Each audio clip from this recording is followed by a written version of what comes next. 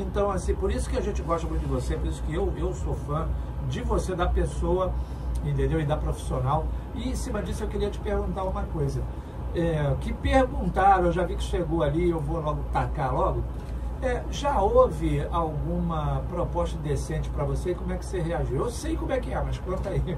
Não, propo- proposta indecente, acho que eu só tive uma. Uma cantadinha de um diretor assim? Já tive tá? uma, logo no Ah. começo da. Eu acho que eu nem tinha começado direito a minha carreira. E foi, foi a primeira tentativa de eu fazer alguma coisa na Globo. E aí eu tive uma proposta do diretor, não era nem diretor do programa. Não era nem o diretor do era programa. gozó, olha. É, não, ele era diretor lá dentro. Ele já até morreu esse cara. Ele, ele era, ele que escolhia os filmes. Ele ficava vendo os filmes para escolher sessão da tarde, Ah, sessão da meia-noite, sabe aquelas coisas? É o tá vendo? É tipo, é, É, o Bozó. é o Bozó. E aí eu conheci a sobrinha dele.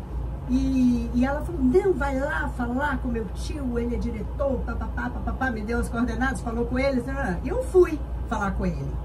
E aí ele, não, lógico, claro. Na mesma hora ele ligou pro, pro, pro Paulo, pro marido da, o marido, o pai da Regina Casé, Ah, sim. é, o Caseta. o Casé. E ele, está, ele dirigia o sítio do Pica-Pau. Aí falou com ele, não sei o quê, e aí apareceu um personagem para eu fazer de uma sereia, que era o episódio da sereia, que o Pedrinho e o Narizinho recolhe a sereia do mar, bota no aquário. Para... Eu nem nadar, nem entrar no mar eu entro. Eu nado, mas eu não entro no mar, eu tenho medo do mar. E aí, menino, eu falei, não, mas eu vou lá, né? Eu vou lá, vou lá. E aí, aí ele falou pra mim assim, não, você vai lá, você resolve tudo, aí antes de você gravar, você volta aqui e me conta tudo. E eu, muito eh, bobinha, né? Fui.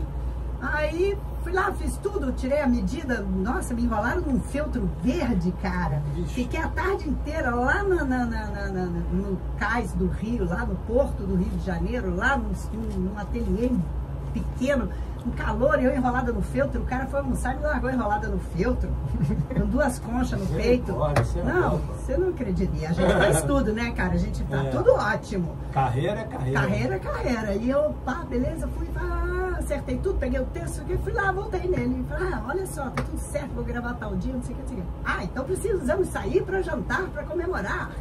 Aí eu falei, tá bom, tudo bem. Daí ele falou, não, deixa eu te fazer uma pergunta. Você mora onde? Eu falei, moro em Copacabana, porque eu morava ainda com a minha mãe. Moro em Copacabana. Daí ele, é, uma perguntinha assim, não me leva mal. Você é virgem? E eu era, na época eu era.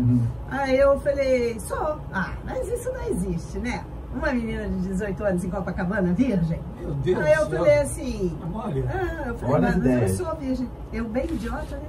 Aí ele falou, não, não, eu tô te perguntando isso porque eu não faço, eu, eu, não, eu fiz uma cirurgia, eu não faço filho.